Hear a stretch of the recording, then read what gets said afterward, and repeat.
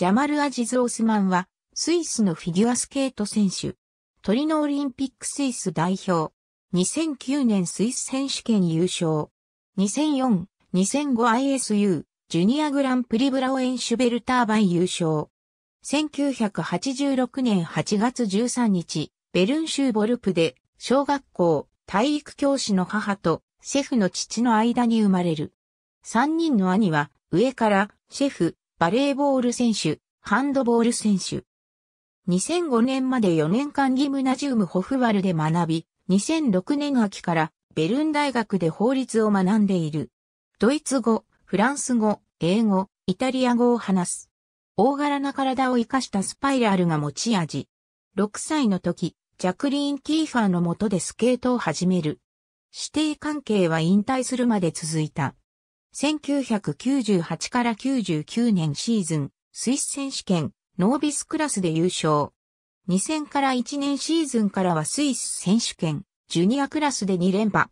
ISU ジュニアグランプリファイナルに2期、世界ジュニア選手権には4度出場した。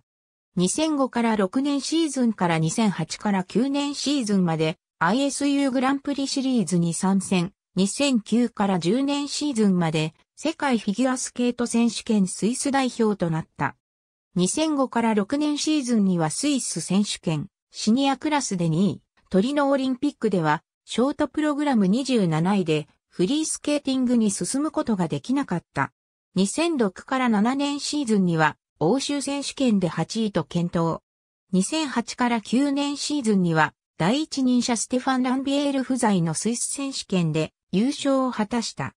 2010年6月に競技引退を発表。父の祖国マレーシアで勉学とフィギュアスケートコーチをしたいと述べている。